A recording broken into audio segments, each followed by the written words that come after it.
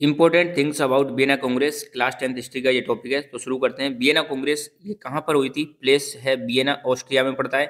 Vienna Congress कब हुई थी? 1815 में। और बियना कांग्रेस को होस्ट किसने किया था? ऑस्ट्रियन चांसलर ड्यूक मेटरनिक कौन कौन से कंट्रीज़ ने पार्टिसिपेट किया था? ब्रिटेन रशिया ऑस्ट्रिया प्रशिया इसका पर्पज क्या था? नेपोलियन ने जो मोनार्कीज को खत्म कर दिया था, उन मोनार्कीज को दोबारा से स्टेब्लिश करना और नए कंजर्वेटिव को ऑर्डर को स्टेब्लिश करना यूरोप में, ये इसका मेन पर्पज था। Thank you